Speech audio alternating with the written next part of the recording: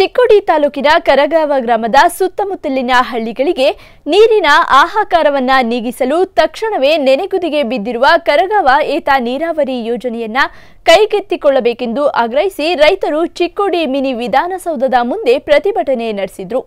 ಈ ಭಾಗದ ಶಾಸಕರಿಗೆ, ಸಂಸದರಿಗೆ ಹಾಗೂ ನೀರಾವರಿ ಸಚಿವರಾದ ಎಂಬಿ ಪಾಟೀಲ್, ಕೇಂದ್ರ ಸಚಿವ ರಮೇಶ್ ಜಿಗಜಿಣಗಿ ಅವರಿಗೆ ಸಾಕಷ್ಟು ಬಾರಿ ಮನವಿ ಸಲ್ಲಿಸಿದ್ರೂ ಹಾರಿಕೆ ಉತ್ತರ ಕೊಡುತ್ತಿದ್ದಾರೆಯೇ ವಿನಃ ಯೋಜನೆ ಅನುಷ್ಠಾನಕ್ಕೆ ಮುಂದಾಗ್ತಿಲ್ಲವೆಂದು ರೈತರು ಆಕ್ರೋಶವನ್ನ ವ್ಯಕ್ತಪಡಿಸಿದ್ರು. ಚಿಕ್ಕೋಡಿ ನಗರದ ಮಿನಿ ವಿಧಾನಸೌಧದ ಮುಂದೆ ರೈತರು ಅನಿರ್ದಿಷ್ಟಾವಧಿ ಧರಣಿ ಆರಂಭಿಸಿ ತಕ್ಷಣ ಕರಗಾವ ಏತ ನೀರಾವರಿ ಯೋಜನೆ ಕಾಮಗಾರಿಯನ್ನ ಕೈಗೆತ್ತಿಕೊಳ್ಳಬೇಕೆಂದು ಒತ್ತಾಯಿಸಿದ್ದಾರೆ.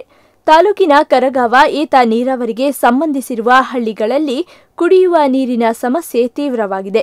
ಹಾಗಾಗಿ ತಕ್ಷಣವೇ ರಾಜ್ಯ ಸರ್ಕಾರ ಕರಗಾವ್ ಏತ ನೀರಾವರಿ ಯೋಜನೆಯನ್ನ ಜಾರಿಗೊಳಿಸಿ ಎಂದು ರೈತರು ಧರಣಿ ಸತ್ಯಾಗ್ರಹ ನಡೆಸಿದರು.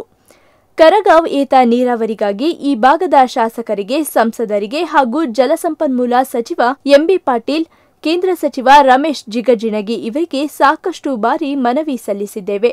ಆದರೆ ಇವರೆಲ್ಲರಿಂದ ಕೇವಲ ಹಾರಿಕೆ ಉತ್ತರ ದೊರಕುತ್ತಿದೆ ಹೊರತು ಯೋಜನೆ ಅನುಷ್ಠಾನಕ್ಕೆ ಮುಂದಾಗುತ್ತಿಲ್ಲ. ಸಮೀಪದ ಹಿಡಕಲ್ ಜಲಾಶಯದ ನೀರು ಕೆನಾಲ್ ಕಾಲುವೆ ಮೂಲಕ ವಿಜಯಪುರ ಬಾಗಲಕೋಟೆ ಮುಖಾಂತರ ಇನ್ನೂ ಹೆಚ್ಚಿನ ಪ್ರಮಾಣದ ಮುನ್ನೂರ ಐವತ್ತು ಕಿಲೋಮೀಟರ್ಗಳ ಅಂತರದವರೆಗೂ ನೀರು ಹರಿದು ಹೋಗುತ್ತಿದೆ. ಹಾಗಾಗಿ ಜಲಾಶಯ ಸಮೀಪ ಇರುವ ಕರಗಾವ ಗ್ರಾಮಗಳಿಗೆ ನೀರು ಹಂಚಿಕೆ ಮಾಡಲು ಸರ್ಕಾರ ವಿಳಂಬ ಮಾಡುತ್ತಿದ್ದು, ಮಲತಾಯಿ ಧೋರಣೆ ಅನುಸರಿಸುತ್ತಿದ್ದಾರೆ ಎಂದು ರೈತರು ಜನಪ್ರತಿನಿಧಿಗಳಿಗೆ ಹಾಗೂ ಸರ್ಕಾರಕ್ಕೆ ಹಿಡಿ ಶಾಪ ಹಾಕಿದ್ರು.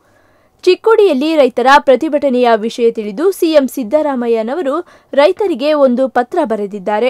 ಆದರೆ ಪತ್ರ ಬರೆದು ಬಿಟ್ಟರೆ ಸಾಲದು? ಬರುವ ವಿಧಾನಸಭಾ ಚುನಾವಣೆಯ ಮುನ್ನವೇ ಕರಗಾವ್ ಯೋಜನೆಗೆ ಚಾಲನೆ ನೀಡಿ ನೀರು ಬಿಡುಗಡೆ ಮಾಡಬೇಕೆಂದು ಕರ್ನಾಟಕ ರಾಜ್ಯ ರೈತ ಸಂಘದ ವಕ್ತಾರರು ಹಾಗೂ ರೈತರು ಒತ್ತಾಯಿಸಿ ಮಾಧ್ಯಮಗಳಿಗೆ ವರದಿ ನೀಡಿದ್ರು.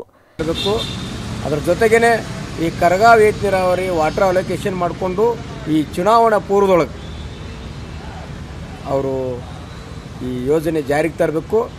ಈ ಯೋಜನೆ ಜಾರಿಗೆ ತರಲಿಲ್ಲಪ್ಪ ಅಂತಂದ್ರೆ ಇಲ್ಲಿ ಜನ ಗುಳೆ ಹೋಗೋದು ನಿಲ್ಲಂಗಿಲ್ಲ, ರೈತರ ಆತ್ಮಹತ್ಯೆ ನಿಲ್ಲಂಗಿಲ್ಲ. ಇದನ್ನೇನಾದರೂ ತಡೆಯುವಂಥ ನಿಟ್ಟಿನೊಳಗೆ ತಾವು ಕಾರ್ಯಪ್ರವೃತ್ತರಾಗಬೇಕು ಒಂದು ವೇಳೆ ಆಗೋದಿಲ್ಲ ಅಂತಂದ್ರೆ ರೈತ ಸಂಘ ಹಾಗೂ ಶಿರ್ಷಣೆ ನಿರಂತರವಾಗಿ ಚಳವಳಿ ಮಾಡ್ಕೊತಾನೆ ಇರ್ತೈತಿ. ಇದರಾಗಿನೇ ಎರಡು ಮಾತಿಲ್ಲ. ಈಗ ಸರ್ ಅವರು ಒಂದೇಳಕ್ಕೆ ಸ್ಪಂದನೆ ಮಾಡಿದ್ರೆ ಈಗ ಮುಂಬರುವ ಚುನಾವಣೆ ತಾವು ಏನಾದರೂ ಅವ್ರು ತಕ್ಕಪಾಠ ಕಲಿಸ್ತೀರ ಚುನಾವಣೆಯಲ್ಲಿ ಸರ್? ಚುನಾವಣೆಯಲ್ಲಿ ತಕ್ಕಪಾಠ ಕಳ್ಸೋದಕ್ಕೆ ನಮ್ಮ ರೈತರು ತಯಾರಾಗ್ಯಾರ್ರಿ. ಯಾರು ಸ್ಪಂದಿಸ್ತಾರ ಅವ್ರಿಗೆ ಆಶೀರ್ವಾದ ಮಾಡೇ ಮಾಡ್ತಾರೆ. ಸಿ ಎಂ ಅವ್ರ ಪತ್ರ ಬರೆದದ್ದನ್ನು ತಮಗೆ ಬೇಕಾದ್ರೆ ಸಾದರ ಪಡಿಸ್ತೀವಿ ಇಲ್ಲಿ ಸಿ ಎಂ ಅವ್ರ ಪತ್ರ ಅದನ್ನು ಒಂದು ಪತ್ರಿಕೆ ಬರೆದಿದೆ ಈಗಾಗಲೇ. ಸಿ ಎಂ ಅವ್ರ ಪತ್ರ ಬರೆದದ್ದು. ಅದರ ಜೊತೆಗೇನೆ C M Bhimsen Kamble Janata TV Chikkodi.